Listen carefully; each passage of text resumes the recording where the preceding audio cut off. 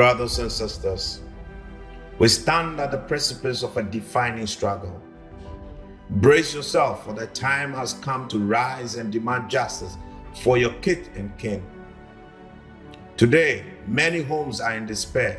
Many lives have been shattered by government's continuous theft of our savings. We give them power, they abuse it. We give them our taxes, they misuse it. Honest advice, they refuse it. And today, they are taking our savings. In these difficult times when many have lost their jobs and depend on their investments to sustain their dignity, feed and shelter their children, pay fees, buy medication for themselves, parents, and dependents. Why would a government we trust with our hard earned savings so insensitive. Enough is enough.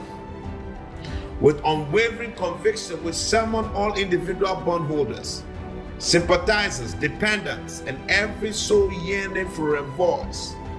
Together, we shall occupy the Ministry of Finance starting Tuesday, 11 July 2023 at 7 a.m. In unity, we shall demand justice and the immediate payment of all outstanding principal and coupon payments, some of which have been delayed for over 130 days.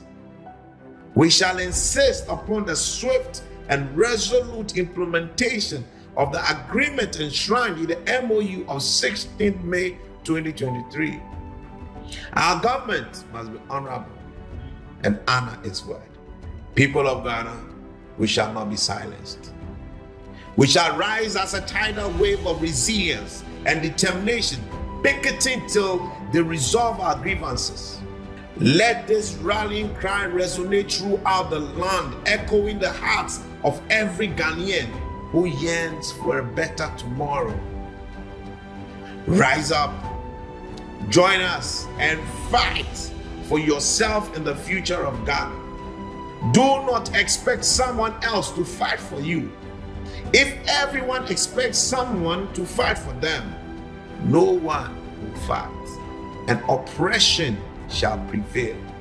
So I call on you today stand up and be counted. Be a citizen and not a spectator. God bless our homeland, Ghana.